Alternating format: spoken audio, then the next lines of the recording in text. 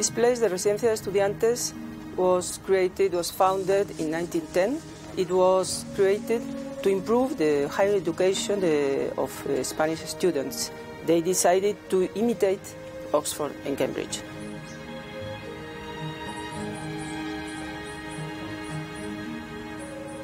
There was a traffic, an intellectual traffic, very, very, very, very, very important at that time. Stravinsky, Poulenc, Ravel, they came here.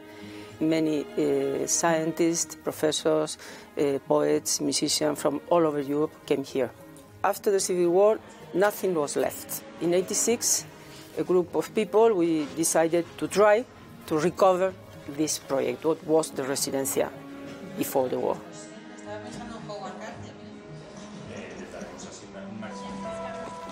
Now the Residencia has many different activities. In first, we are hotel uh, for um, people working in, in science, creators, artists, people related to the university with the scientific research, people from all over the world. It's a, it's a very nice place, so when you need peace and uh, to work fully on something, it's also very interesting that uh, you don't stay only with physicists.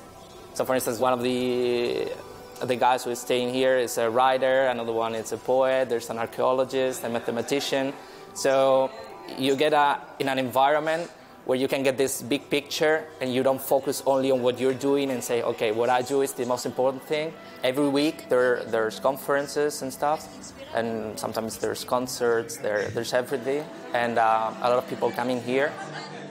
We are also organizing exhibitions and the exhibition which is today is Redes Internacionales de la Cultura Española.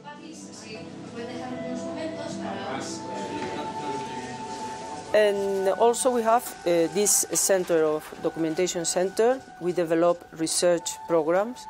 Well, uh, we are very proud of uh, being awarded the, the heritage uh, label because um, we think the Residencia has been a symbol is a symbol of the European values, and we are very honored.